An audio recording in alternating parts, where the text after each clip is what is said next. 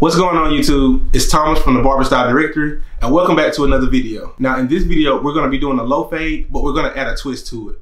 So we're gonna do a part on the side of his head and we're gonna blend up under it so it still looks dark. And also be sure to check out the blogs associated with each video. So if you simply just click the link below, it will take you directly to our website and you can check out each blog. And one more thing guys, we're also doing a 50K subscriber giveaway. If you haven't already, be sure to subscribe and click the bell to know whenever we release new content. And without further ado, let's get into the video.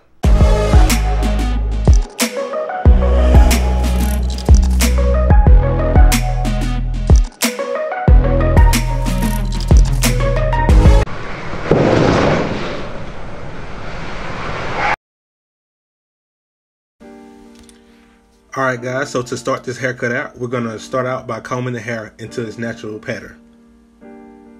And we're gonna take the one guard with the lever fully open, and we're just gonna smooth down the top. As you can see, he has waves, and he doesn't want too much taken off the top, so we're just gonna smooth it down. A one guard fully open is a good length for waves. It's almost the equivalent to a one and a half. And here, just like in the other video, and I'll link that video above, you're gonna see me make a rough draft of the part first, and then I'm gonna uh, fade the other side. So right here, I'm not trying to get anything perfect, I'm just trying to make a rough draft. And when making designs into waves, you have to be a little careful because the hair will try to separate on you, but just take your time.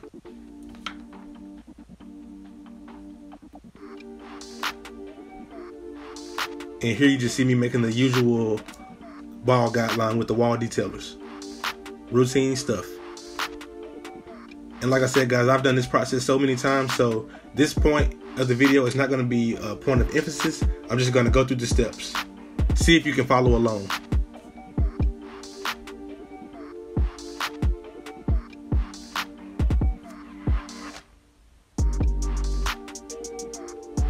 And instead of switching to the um, to the Oster fast feeds, I just kept using the Wahl Legend throughout this entire cut. When I was doing the fading process.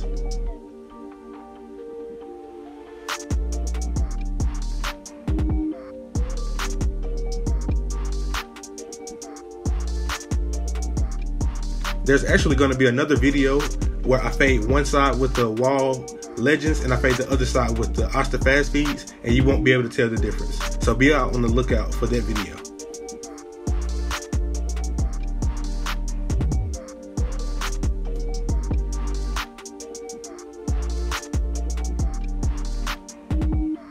Okay, so now we're moving on to the important part of the video.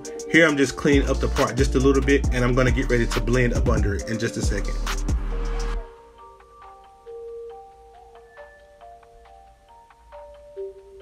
you can see that the fade guideline kind of contours with the part.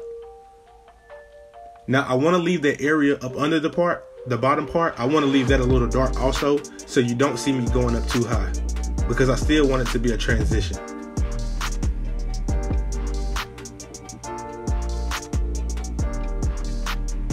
And then here you see me just work the lever just like I would in a normal fade process.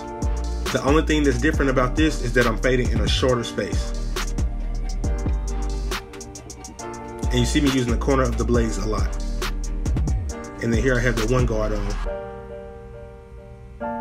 Notice how I'm holding the clipper flush onto his head because I don't want to take too much hair off. I still want to leave it dark up under there just a little bit. And guys, don't be afraid to try haircuts like this. This is the only way you'll ever get comfortable. Now, me, I'm no expert at doing designs, but parts, things like this, you know, I, I can do this and you can too. That's why don't be afraid to challenge yourself.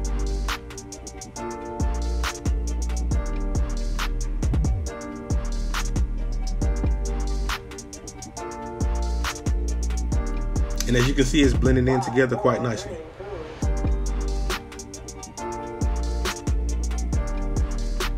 And this is the half guard I have on here, by the way.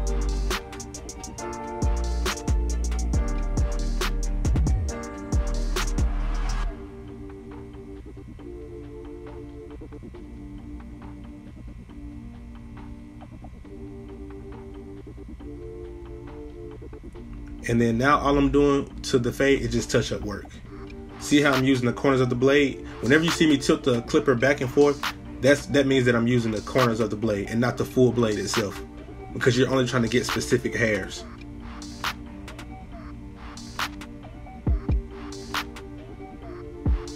Okay, now we're back to the bread and butter of the haircut. Just putting the edge up on him.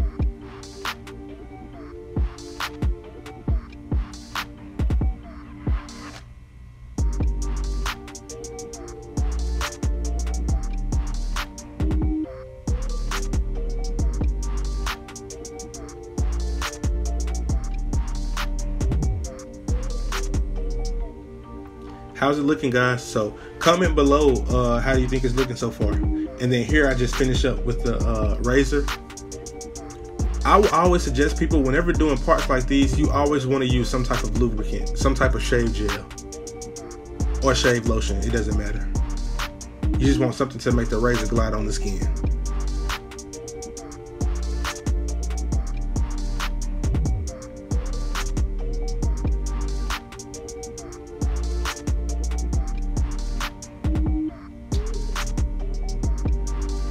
Okay, guys, so hit me up in the comments. Let me know what you think. How did it turn out? Give it a thumbs up if you like it. And if you want to see more videos like this, comment below. Be sure to subscribe if you haven't already. And I will see you guys on the next video.